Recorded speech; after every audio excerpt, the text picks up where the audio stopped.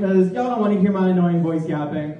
Let's give it up for Cracker Jack!